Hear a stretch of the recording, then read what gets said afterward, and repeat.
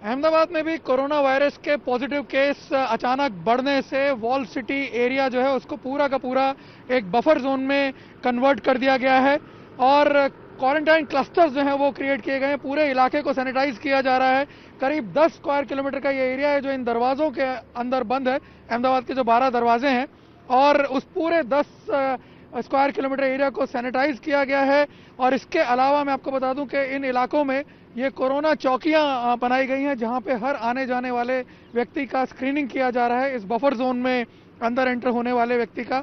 और, अंदर quarantine clusters create किए गए हैं जिन गलियों में कोरोना पॉजिटिव केस पाए गए हैं। सबसे ज़्यादा कोरोना पॉजिटिव केस अहमदाबाद के इस वॉल सिटी एरिया में पाए गए हैं।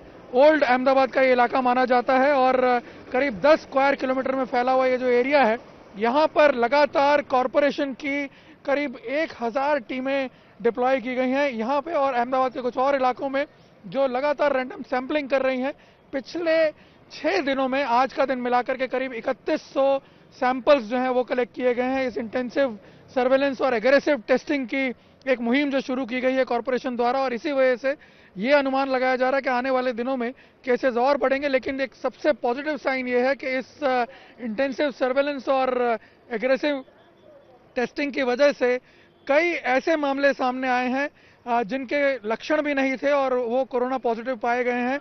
इनफैक्ट गुरुवार को जो सुबह रिपोर्ट आई, उसमें करीब 50 पॉजिटिव केस अहमदाबाद में रिपोर्ट किए गए, जिनमें से ऐसा बताया जा रहा है कि 30 ऐसे पॉजिटिव केसेस हैं जिनमें एक भी लक्षण नहीं था। कॉरपोरेशन का कहना है कि इससे घबराने की ज़रूरत नहीं है। ये एक बहुत अहम अहम भूमिका हो सकती है इस प्रोग्रेशन चेन को रोकने के लिए भी।